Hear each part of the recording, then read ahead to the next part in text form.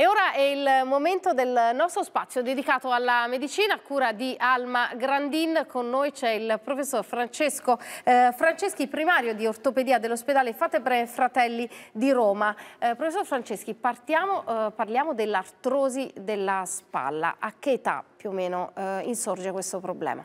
Può insorgere dopo i 60-65 anni, però anche prima, perché non è semplicemente dovuta ad un consumo della cartilagine, ma spesso i nostri tenni, i famosi tenni della cuffia dei rotatori, si rompono e non si possono più riparare. La spalla lavora male e quindi si consuma anche prima, anche prima dei 60 anni. Professore, ascoltiamo un vocale che ci è arrivato. Buongiorno, vorrei sapere se prendendo gli integratori si può ricostruire la cartilagine oppure una volta consumata, non c'è più niente da fare.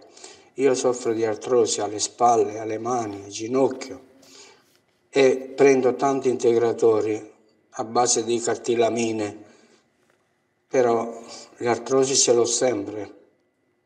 Cosa potrei fare? Gli integratori sono sicuramente molto utili per allungare la vita della cartilagine, però purtroppo ancora non siamo riusciti né in laboratorio né in vivo a restituire, a restituire la vita alla cartilagine, per cui non dobbiamo avere false speranze. Eh, professore, un messaggio scritto che ci è arrivato. Qualche, da qualche anno la notte ho un dolore all'anca dormendo sul fianco, mi devo mettere supina per stare meglio, di giorno non avverto quasi mai dolore, quindi partiamo, parliamo dell'anca e non della spalla però. Spesso i dolori all'anca, specialmente nella parte esterna, specialmente quando avvengono di notte sulla posizione, non sono dovuti all'artrosi fortunatamente, ma a delle tendiniti, per cui sono facilmente curabili. Ascoltiamo un vocale dei nostri telespettatori. Ho avuto una distorsione caviglia e piede destro. Devo fare la risonanza magnetica con o senza mezzo di contrasto, sempre caviglia e piede destro. La ringrazio Basta sicuramente una buona risonanza magnetica ad alto campo senza mezzo di contrasto.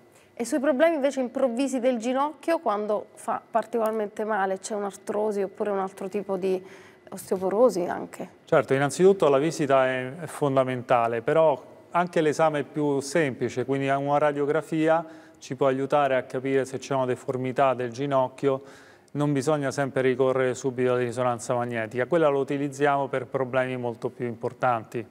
Allora, ritorniamo invece all'artrosi della spalla. Eh, per la diagnosi, quando abbiamo un forte dolore, quindi artrosico in questo caso, qual è eh, la terapia?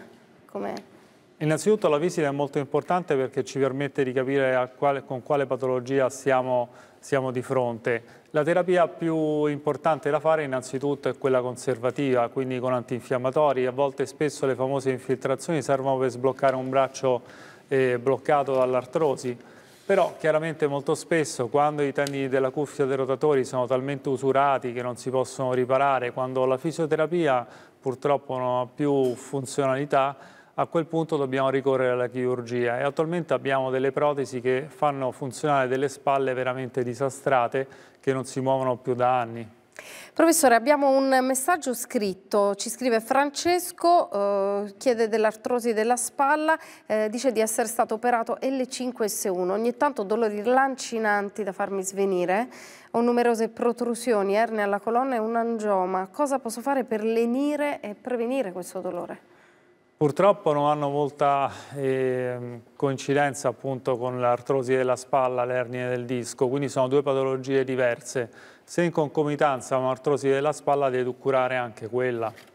Professore, c'è eh, un legame tra eh, l'artrosi della spalla, i dolori alla spalla e lo sport? Ci sono degli sport che proprio Assolutamente, evitare? per esempio i bodybuilder devono comunque sia pensare anche al, al, futuro perché purtroppo utilizzando tantissimo le loro articolazioni, anche le braccia con cui fanno tanti pesi, purtroppo le consumano molto facilmente, sia dal punto di vista dei tenni che dal punto di vista della cartilagine, per cui occhio a non fare troppi pesi. E troppo, troppo, sport fa male, fa bene? Che cosa possiamo dire? Dipende. Un giusto, un moderato, un moderato sport sicuramente fa bene, ma noi non siamo delle macchine che sono state progettate per andare a 300 all'ora, quindi stiamo attenti. Grazie al professor Francesco Franceschi, primario di ortopedia dell'ospedale Fate Bene Fratelli di Roma.